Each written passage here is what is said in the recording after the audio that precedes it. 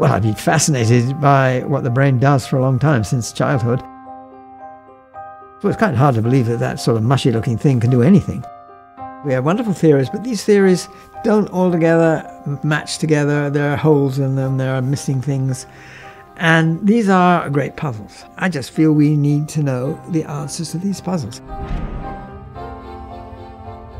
As a result of some of my studies in, well, in mathematical logic, I came to a view which was that our conscious understanding of things cannot be simply computation.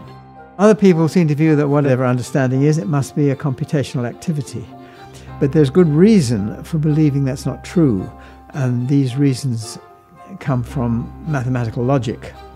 You certainly can have mathematical systems where you just follow them and they can prove certain things, but it comes to a point where they can't make the decision.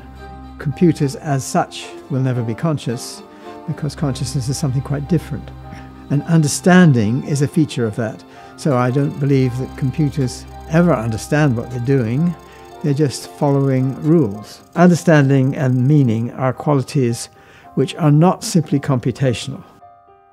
But if it's not computation, then whatever is going on in the brain, which I do believe to be a physical action, has to be something outside the physics we know. And the idea here is that we, when we make our own decisions, we are employing this aspect of physics which we don't fully understand. We don't really understand it at all. It's not we just don't fully understand. It's something really new, which I believe consciousness depends upon.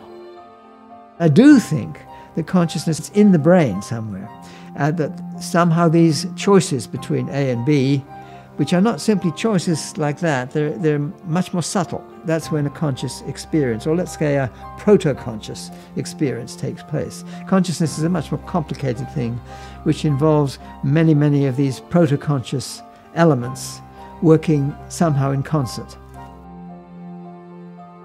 I think that it is important to understand what consciousness is just understanding more deeply how the physical world hangs together, how it operates um, at all levels, very tiny levels, right out to the levels of cosmology. It's important to humanity to understand what really lies at the basis of things. It means things which are not animate, but it also means conscious beings like us. It may mean conscious beings not like us. And that's an important quest as well.